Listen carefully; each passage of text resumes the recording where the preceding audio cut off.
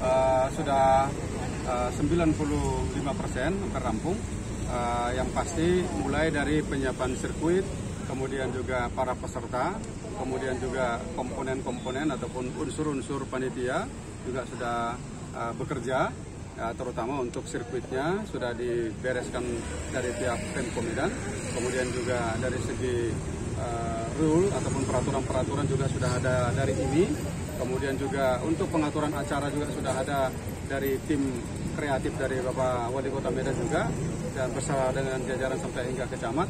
Dan untuk peserta kami uh, bekerja sama dengan tim Ladon Klub Indonesia dengan dari sepeda uh, juga nanti akan ada di perlombakan.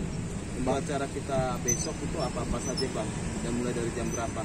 Ya, untuk acara kita besok itu yang pertama itu ada balap sepeda, sudah ada sampai 120 peserta. Kemudian dilanjutkan nanti kegiatan uh, drag ulangi road race. Kemudian juga road, race itu sudah ada sekitar 70 pendaftar.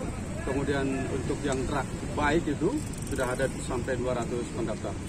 Bang, untuk tingkat keamanannya sendiri gimana Bang? Untuk acara road race itu Bang? Untuk tingkat keamanan, uh, itu langsung dikelola oleh dari Ladon Klub Indonesia di bawah naungan ini.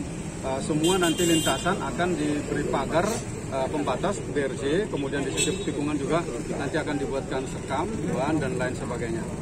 Apakah ada pengalihan arus Bang untuk besok Bang? Ya. Kebetulan untuk jalan Nibung Raya ini sendiri jalan mati pada hari libur, tidak ada aktivitas karena ini merupakan hampir 80% pergudangan, gudang-gudang showroom mobil sehingga tidak perlu kita harus mengadakan untuk pengalian arus. Kalau besok itu sampai jam berapa? Dari jam berapa? Mulai Uh, kita akan mulai dari pukul 7 pagi sampai ke 22 malam. Ya, mungkin ada yang bisa ditanyakan ke IMI, Untuk ke, dari tim kreatif, dari Ladon, Pak untuk parkir penonton Pak? ya, dari parkir penonton mungkin dari kecamatan. Ya baik, Eh, untuk